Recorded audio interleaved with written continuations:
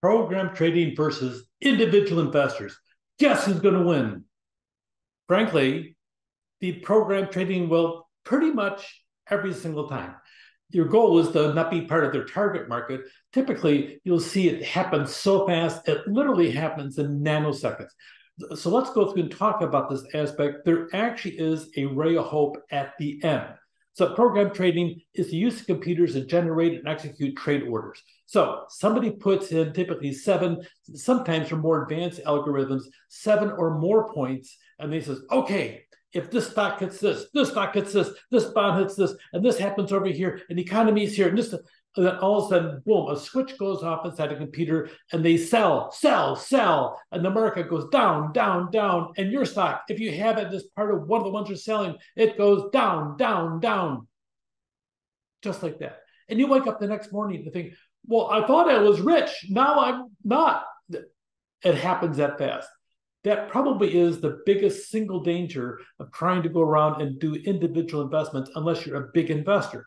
We're talking about small investments. I really emphasize the idea of high diversification, except for the fact the aspect of how do you achieve that probably mutual funds, ETFs, or other group indexes in the process. So, so by the time you're all done, the New York Stock Exchange defines program trading as the purchase or sale of a group of 15 or more stocks with a total market value of a million dollars or more. Boom, unless you got 15 stocks that, that is a clumper worth $1 million, you are subject to program trading coming in and eating your lunch, so to speak, in the process. So, so in the stock market, program traders they execute trades in milliseconds, and that's a big advantage. They are the big gorilla on the block, and you better listen to what they say or what they do or what you think they're going to do. It's a big thing. Look on the next point. In 2001, it accounted for 70 to 80% of all US stock market trades placed during a typical trading day. That's huge. Now, can you sit down and be washed over in the process? Yes. Can you have some strategies to sit down and deal with it? With, with during days of volatility, the program traders they account for 90% of all trades. So unless you're really paying attention on a daily basis, which is why you as an individual investor picking this one stock or this one bond and holding on to it doesn't make a lot of sense. Institutional investors such as hedge fund managers or mutual fund traders, they use program trading to execute large volume orders. Now, now, in theory, they have some ways of separating them, but at the end of the day, it really is the matter if the stock price drops this, it's going to drop this across the entire board. It, it can help reduce risk uh, by the time it's done to to avoid having them play simultaneously. But no matter what happens, it's the big one on the block, and you're that little itty bitty puppy on the, on the picture over here. So some of the challenges are the speed and sophistication. It can do it much faster and much more accurately than we can as an individual. There's no emotion involved with it. So the access to information, they have a wealth of market data. And now with AIs rapidly uh, on our horizon and growing bigger and bigger daily, and us training them by even talking to Chat GPT, we're actually training the artificial intelligences.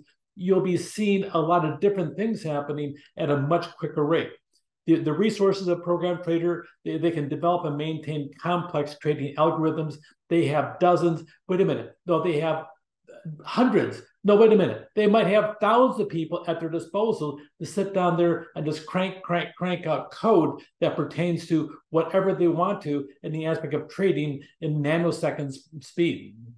So despite the challenges you can do a couple things.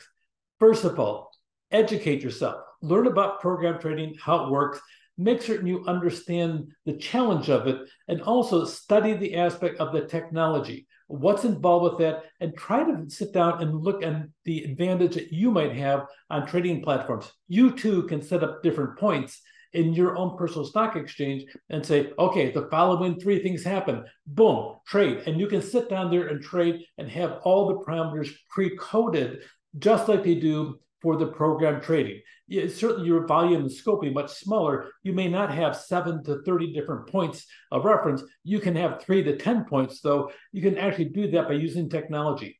Focus on big picture. You know, there's a lot of volatility, sometimes in the matter of a couple hours, but big picture wise, if you look at giant indexes like the Dow, if you look at the S&P 500, long term, there's a huge amount of return on the big picture item. So focus on the long-term investing, retail investors, that's like you and me, not the programmers, the non-professional market participants that invest in smaller amounts, pay attention to what what that what's happening there.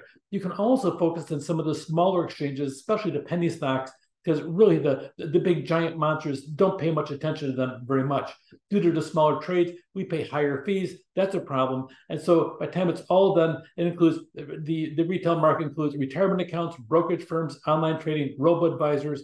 Really importantly, the, the program trading involves the futures market as well as the cash market. So even if you're going to dabble here in the options, you're going to dabble over here on the different futures aspect of it, pay attention. When we talk about index arbitrage they're going to be playing both sides of it. They're going to be playing the thing over here the stock's going to rise and they'll be playing over here that it's going to fall. So the arbitrage aspect of it they'll do both of them and that way they'll always get their principal protected but they but they hope to sit down and grab things and maybe bump up the market to sit down and get them the biggest advantage. So active trading involves trying to get a profit by identifying and timing trades Sometimes it's it's the magic thing of the triple different uh, Tuesday. By time it's all done, you have all the different points converging at one thing. So you have the the, the payer dividends, you have the quarterly done, the whole thing. So you have different magic moments where people are waiting for things to happen. If General Motors is is going to put a dividend out on this date, all of a sudden the stock goes up a little bit, and then after it's all done, it goes down. You'll see program trading automatically do different things like that.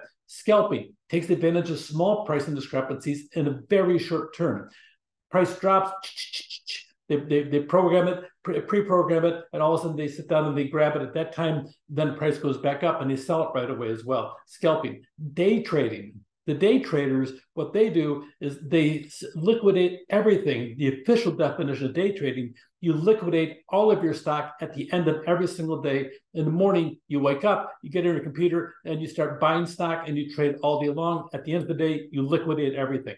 You pay a lot of commission fees in the process, but your money is safe overnight at least, and you're not subject to programmers. Swing traders, they'll hold positions for days, weeks, months even, and they rely a lot of tactical analysis to identify when to enter and exit a position you know, you, there's different formulas you have. Your textbook has a lot of the formulas and they're very technical in nature. If you want to pursue that, that certainly is a really positive way of doing it.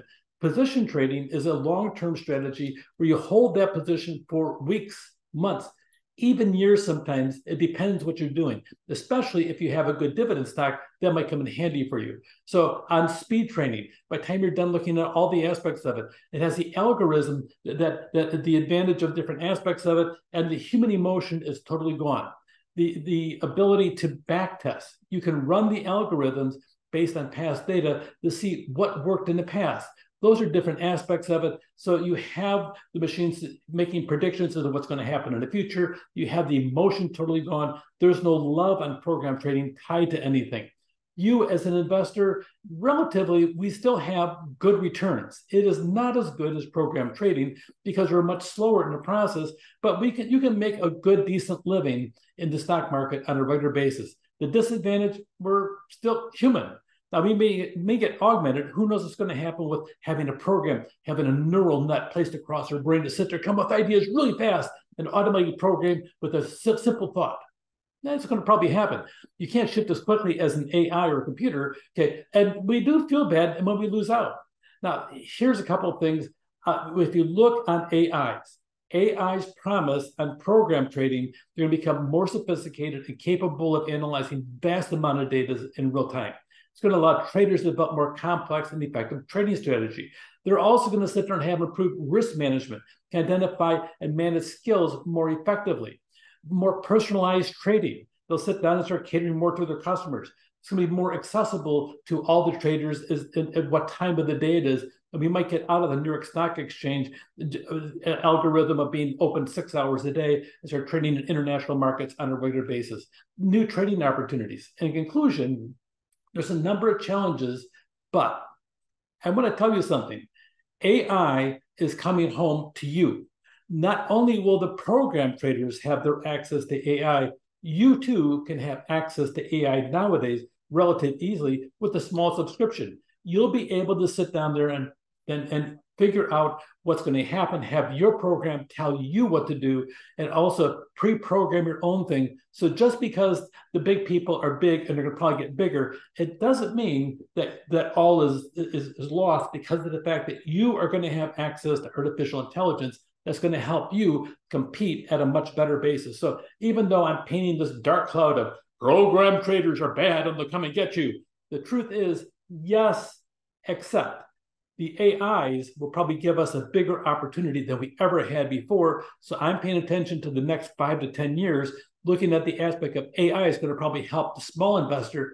That might be me. Yeah, I think it is. And it might be you as well. So pay attention to the future. AI might have all things, it may destroy our jobs, but it might save us in the investment market. Take care.